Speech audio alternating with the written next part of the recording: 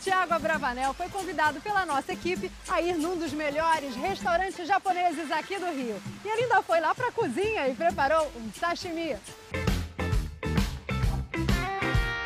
Ele é simpático, carismático e vai comandar um programa novinho em Folha no SBT. Meu entrevistado de hoje, com muito prazer, é Thiago Abravanel. E... Ai, Tudo bem? prazer, Prazer é Thiago. todo meu. E olha, te trouxe hoje para comer a sua comida favorita, que é... Comida japonesa, eu amo demais. Então me conta, Thiago, como é que é o seu programa?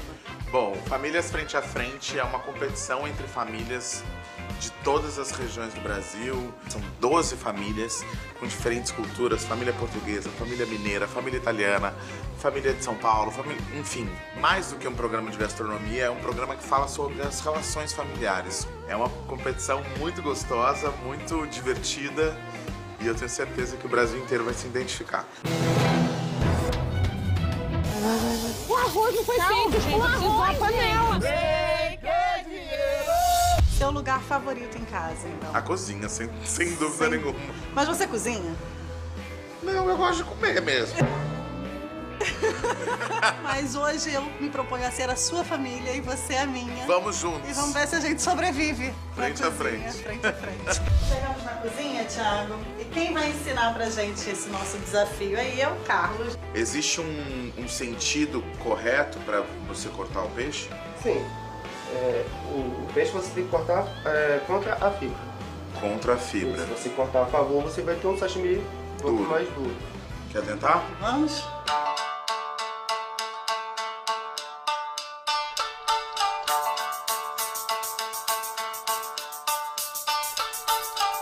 Na cozinha, quando junta a família Bravanel na cozinha, o que que rola?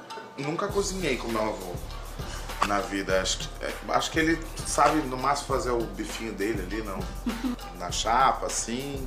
Mas ele não é muito de cozinhar, não. Carlos, eu cortei aqui, mas eu acho Tá, que... tá mais ou menos, tá parecendo um cubinho. Deixa eu ver.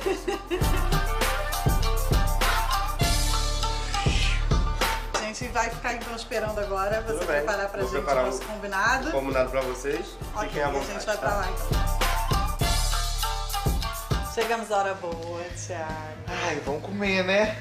Eu queria, antes da gente comer, continuar a entrevista um pouquinho, daqui a Claro, pouco vai claro. chegar aqui. Você é daqueles fãs, tipo eu, Ah. que grava todas as músicas do filme e fica cantando? Não só as músicas, mas as, As falas. falas também. Tem alguns desenhos, tipo o Rei Leão, eu sei todas as falas.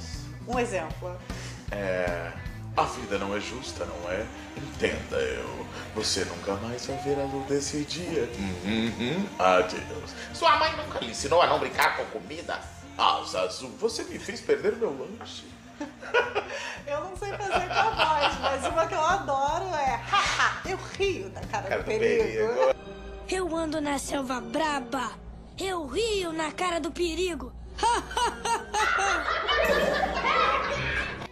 Seu programa, qual a lição que você tirou e qual a lição que você acha que o espectador vai tirar? Olha, o Famílias Frente a Frente, quando eu olhei o formato, quando eu escolhi esse formato para para ser o meu programa, eu tive alguns insights assim. Acho que o fato de, de eu ser uma pessoa que me relaciona me relaciono bem com as pessoas foi um, um dos momentos, um dos motivos pelo qual eu escolhi esse formato. Comida é uma coisa que me fascina.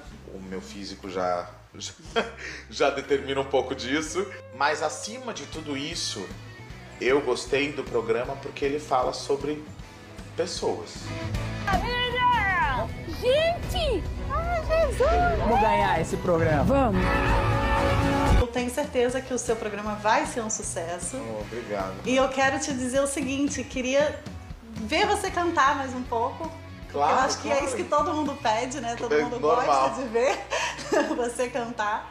É, e Tim Maia, né? Acho que É uma música do Tim Maia que sempre marcou a minha vida e que eu sempre serei grato a, a esse monstro da música que, que deixa saudade, mas que eternizou através das suas músicas.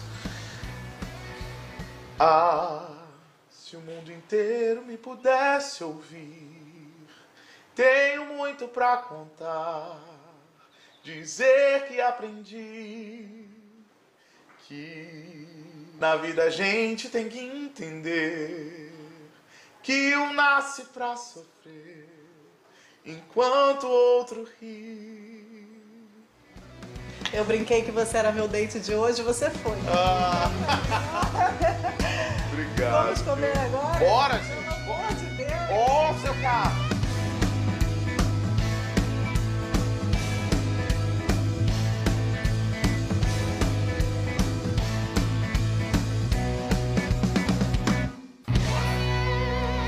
Vamos continuar comendo aqui.